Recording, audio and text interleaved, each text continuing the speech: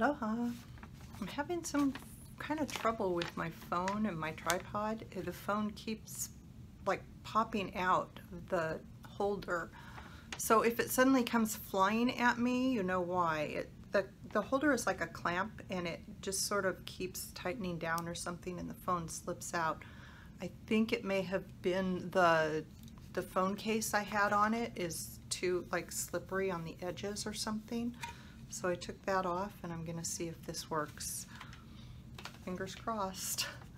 Um, I also, this is like not my day because I've been trying to sit down and do this. Here it goes. Oh, I can see it tilting.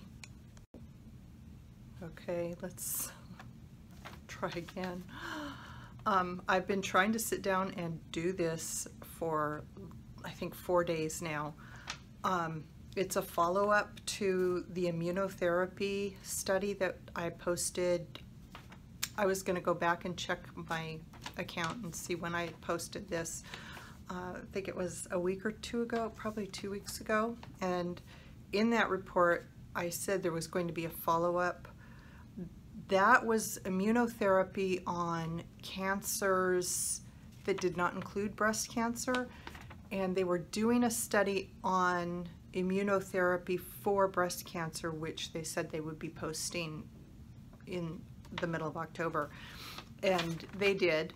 And so this is that portion of the study. Uh, immunotherapy scores first win against some breast cancers. That's the title of the article.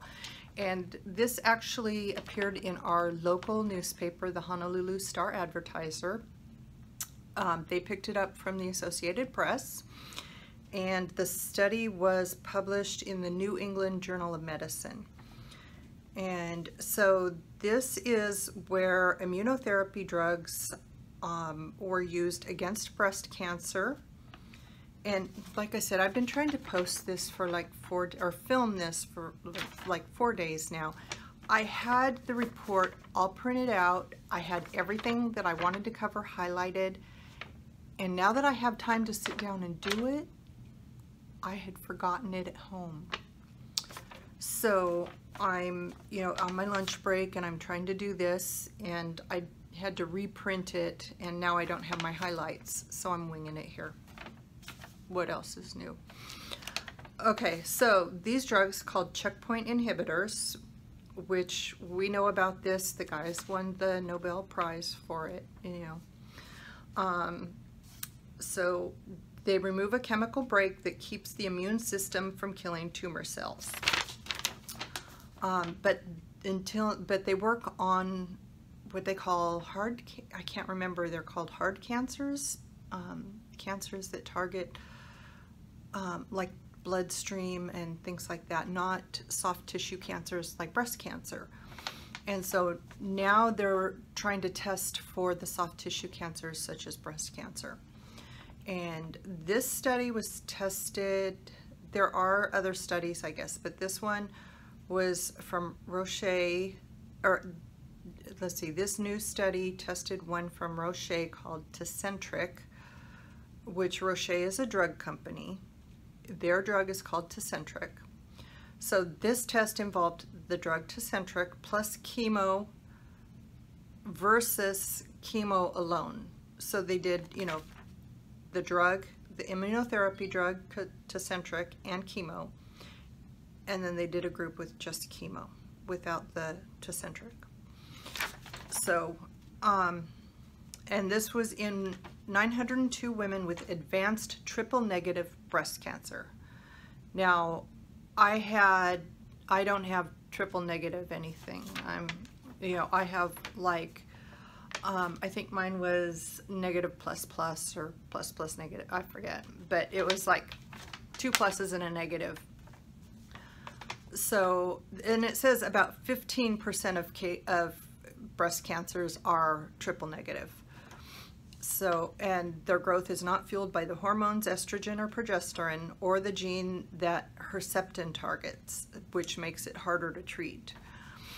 And so the woman in the the women in the study who received Tecentriq plus chemo went two months longer on average without their cancer worsening compared with those on chemo alone. Two months. For me, that's not, that's really not worth it. But for somebody else, it might be everything. You know, if you're talking about like a new mother or something, those two months could be ultimate joy in heaven. So, but you know, for me at my age, two months, especially when you hear the price of the drug. Um, so the combo did not significantly improve survival, um, but now you're, we still have, they still have to do long term. You know, this is just like short term benefits really. Um, Previous studies found that immunotherapies work best in patients with high levels of a protein that the drugs target. And the plan for the breast cancer study called for analyzing how women fared according to that factor if Tecentriq, yeah, Tecentriq improved survival overall. But the drug, the drug failed the test. So um, researchers are still looking at protein level results and see encouraging signs. No, two months. Um, women with the high women with high levels, high protein levels, I think it is, um, who received the combo treatment lived roughly 25 months on average versus about 15 months for women given chemo alone. Okay, so they live 10 months longer. At my, like I said, at my age, 10 months, it's like, just do me in, I don't care, you know, get it over with. I, I'm, you know, but that, like I said, that 10 months to somebody else could be a lifetime gift. So, it really depends on your life situation. Um, let's see. And then they said it will take more time to see if there's a reliable way to predict benefit. Um, let's see. Do do do. Sorry, without my highlights. Um, side effects need a closer look. Um, nearly all study participants had typical chemo side effects such as nausea and low blood counts, but serious ones were more common with the combo treatment and twice as many women on it stopped treatment for that reason. Okay, so if they're stopping treatment, I don't know, you know, it, it's like, okay, if they didn't stop treatment, would they live even, you know, 15, you know, instead of living 10 months longer, or what did they say, 25 months, 25 months longer, would they live, you know, 30 or 40 months longer? I mean, that would be something to look at. Um, but if the average is skewed because women are going off the drug because of the side effects. I don't know. Um, three of the six deaths from side effects in the combo group were blamed on the treatment itself. Only one of three such deaths in the chemo group was. So that sounds like uh, it, it could be that the side effects are worsened with the Tecentriq Tecentriq, Tecentriq than they were just on chemo alone. Um, or it could just be they happen to get those those three in that group and not one in the other group. It, hard to tell. Um, cost. Tecentriq is $12,500 a month a month. And if you think about it, okay, Tecentriq is $12,500 a month. The chemo in this study was $3,000 a dose.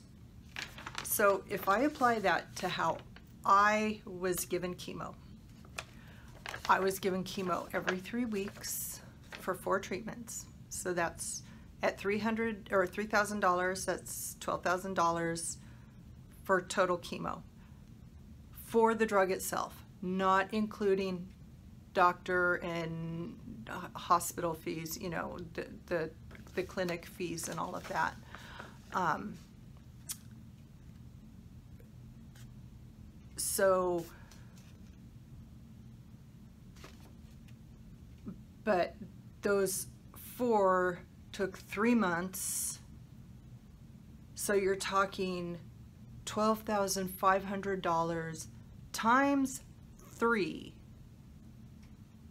plus another $12,000 for the chemo, plus hospital or clinic administer, you know, the the fees to administer the chemo and the Tecentriq and whatever. That's a lot of money. If if it wiped out your cancer and you it gave a, you know, like a 100% survival rate, would be worth it. But to increase your time span by 10 months or 25 months, don't know that that's worth it. Um,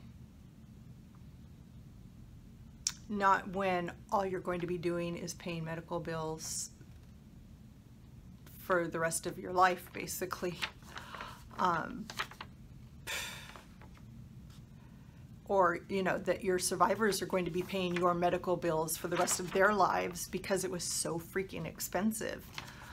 Um, I, you know, if it's not going to do that much good, it's not worth the cost.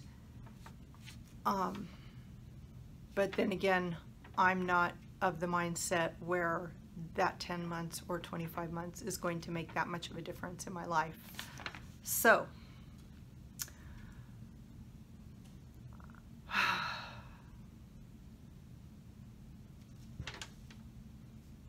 that's the study.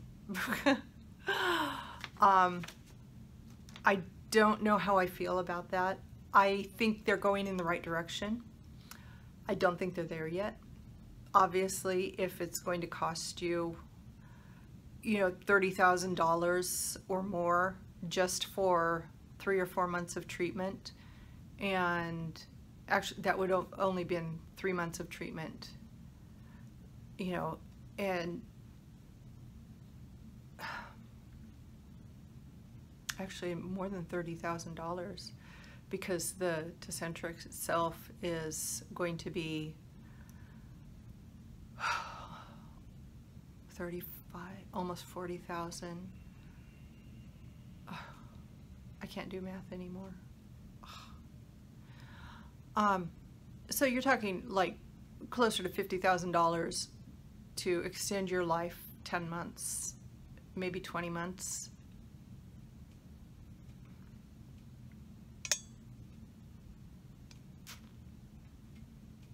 That's more than a year's salary for me. So, no, it's not worth it. Ah, no. Um, yeah, like I said, I think they're headed in the right direction, but they have a lot of work to do. Um, I, I just, you know, when I think about the cost of that, when I think about the cost of any of these drugs, it just amazes me. And then you get like the whole Shkreli thing where, you know, they raised the cost of these drugs, you know, this much so that they can profit. You know, they raise them this much so they can profit that much when the drug only costs this much. And, uh, you know, and it, it's not just, and, you know, Shkreli was the prime case example. It's the drug companies all do it and they spend all their time in R&D and don't get anywhere. And the FDA requires all this testing and all this stuff that, you know, we could have had drugs out on the market that have been proven in Europe and in Canada and but they don't allow them here because they require all this testing that takes 20 years to do. And then they still recall them because something goes wrong. And so why not just get them out there? If they've been proven somewhere else just get them out there and get them working. And if somebody wants to do a um, a non-proven drug why can't the the insurance companies allow it you know maybe with some sort of disclaimer or something that says you know hey don't sue us if it goes wrong. And you know instead you're stuck and you have to pay cash if you want to do this new miracle drug that they're working on and uh, uh, the whole insurance medical system and drugs and uh, it, mm. sometimes I do wish I lived in another country. I you know America has a lot going for it but at the same time we just it's like we poison ourselves. So another rant for another day All right, well, I, I don't know what else to say about that study. I, I do think they are going in the right direction with the immunotherapy. Um, sorry, there's a weather disaster thing. Okay, it was just like nothing. um, but I do think they're going in the right direction with immunotherapy drugs and hopefully they can get something off the ground that will actually make a difference and not just by a few months, but by years. You know, if they can say, yes, you'll live five years longer.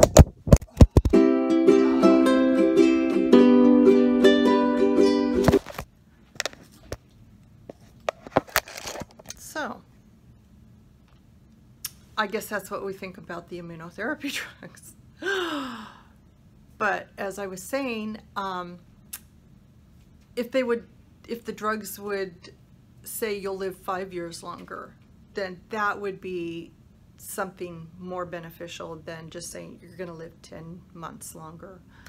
So we'll keep an eye out and see what they come up with. And there are a couple more things that have come up in the news the last few days that I want to share with you. One is a, um, it's like a cancer uh, research thing that you can join if you have certain types of cancer. And so I want to get that out there. And then there was, what else? Sorry, I'm looking past at my computer to see if I can remember what else I had. Um, there was some sort of other kind of cancer study, something, I can't remember what it was offhand, but I'm going to get something on that. So I will talk to you later. Bye-bye.